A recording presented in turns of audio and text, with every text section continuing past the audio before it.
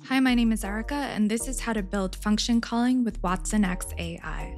Step one is setting up your environment. Check out this video to set up your IBM account and get your API key and project ID credentials. Step two, installing relevant libraries. We'll need a few packages for this tutorial. Make sure to install the following libraries. Step three, importing libraries and setting up our credentials. Next, we'll import the following packages. For this tutorial, the API requests will require bearer authentication. To get our bearer token, we need to run the following commands in our terminal and insert our watsonx API key from step 1 here. The token will begin with bearer and will be followed by a long string of characters. It should look something like this. Note that this token expires an hour after generation.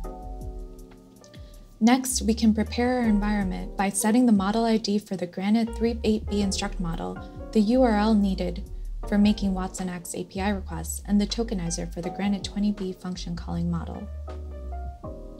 To set our credentials, we'll need the project ID we generated in step 1 and the bearer token output from the previous commands. The get stock price function in this tutorial will need an AV stock API key.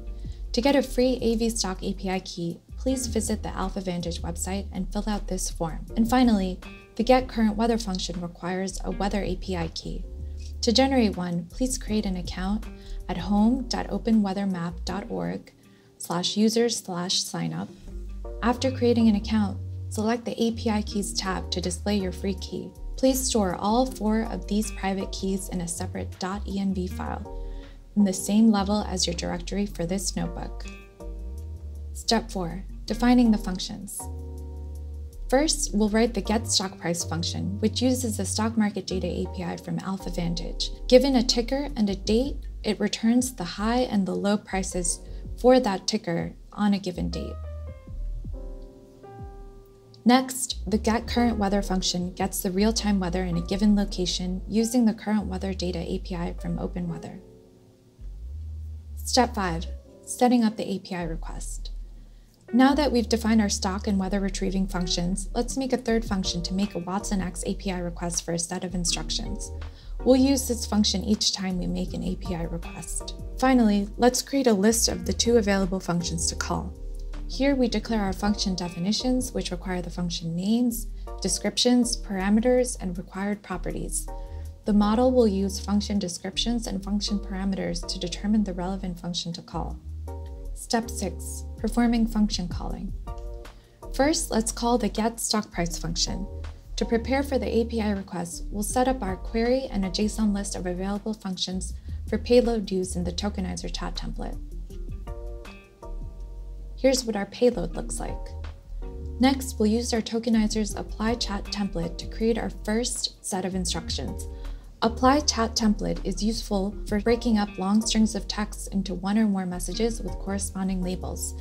This allows the LLM to process the input in a format that it expects. Since we want our output to be in string format, we can set the tokenized parameter to false. The add generation prompt can be set to true to indicate the beginning of an assistant message to the output. This will be useful when generating chat completions with the model. Here's what our instructions look like. Now we can call the make API request function and pass through the instructions we just made. And here's the API response. As you can see by the function call name in the JSON object in the output, the correct function, getStockPrice, was selected from the set of two available functions. Now, to run the stock price function, let's extract the necessary arguments from the output. Here are the arguments we'll use, the ticker and the date. With the function name, ticker, and date extracted, we can set these variables and call the function. To call the function using its name as a string, we can use the globals function. We see in the output that our function ran and returned the low and high stock prices for IBM on October 7, 2024.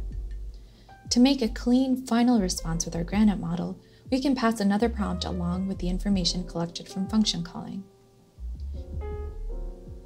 And here's the final clean response from our model. Finally, Let's use our getCurrentWeather function to ask about the current weather in San Francisco. We can follow the same steps as before, but adjust our query to what is the current weather in San Francisco. Our payload looks almost the same as our previous payload with the exception of our new query. Let's make our instructions again using apply chat template.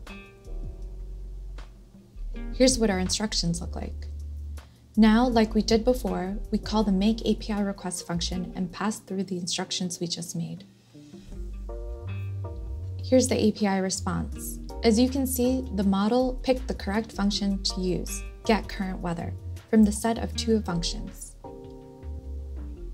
Now, to run the weather function, we'll fetch the needed arguments from the output.